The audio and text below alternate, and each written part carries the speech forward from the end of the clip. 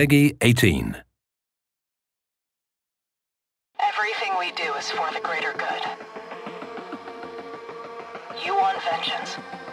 So do we. Good luck out there, Six. Go kick some ass.